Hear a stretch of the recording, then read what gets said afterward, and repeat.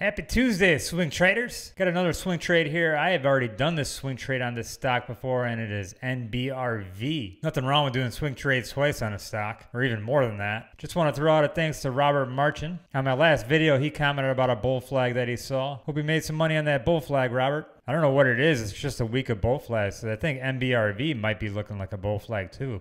Well, anyways, there's a lot of good stuff going on with this stock right now. A lot of stuff coming up in the near future that should make it pop. Not to mention that it kind of looks like a bull flag a little bit. I don't know. Bull flag week. Hey, but if you're new to my channel, hit the subscribe button. And don't forget to hit the like button down in the bottom there. And smash that bell so you get the notifications on these swing trades. Let's get right into NBRV. Let's go. So the stock had a bad day today. You can see down 3%. So that's good for us if you want to buy it. And here we are going on this last bar again. Last time the stock was going on the same thing for the last bar and it ended up not passing. And you know what? I was still in it and the thing tanked and I lost some money on it. But anyway, it is under review on August 19th.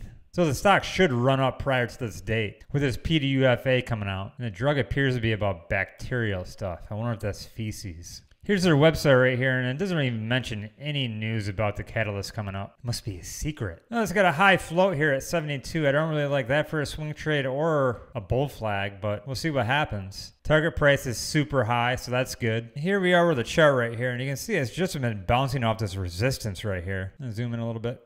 And from this angle, it really doesn't look much like a bull flag. But look at this. This would have been a good buy right here. It dropped down to 232 today. Darn it, I missed it. That's why I got to set alerts. So you see, we've just been consolidating here, just staying in this little channel right here. Volume slowed down here too. Even though the volume's slowing down, it definitely is going to start to pick up with this catalyst coming up. So this is the chart on my phone right here, and you can see it does look like a bull flag. Do you guys think it looks like a bull flag on this one? Tell you what, I'm going to go ahead and buy this stock tomorrow. So if we're looking at price for the stock, I think uh, any price right now is pretty good. I mean, it's just been going sideways, consolidating. But if you think it's not a bull flag and you want to get a good price on it, looks like a good number to put a limit buy in would probably be right around 235. You ain't going to save that much. I mean, the stock right now is 239, so it's just in a tight pattern going sideways right now. Anyways, just like to remind you to subscribe to my channel and hit the bell so you get the notifications on these swing trades and like the video, guys. Come on, like the video.